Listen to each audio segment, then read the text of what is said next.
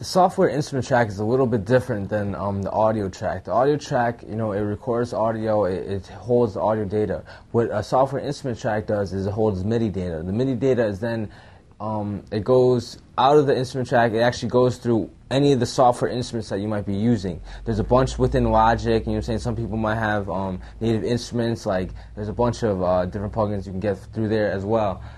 When going into your session, what you gotta do is you can create a software instrument track by either pressing the plus or copying the duplicate settings as long as the prior one is um, a software instrument. What I'm gonna do is I'm gonna add the plus. Now the plus is to bring up this window and I'm to choose software instrument and press create.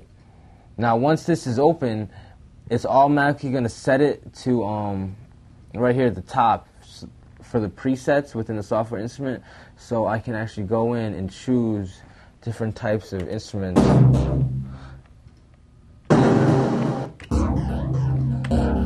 And record that data.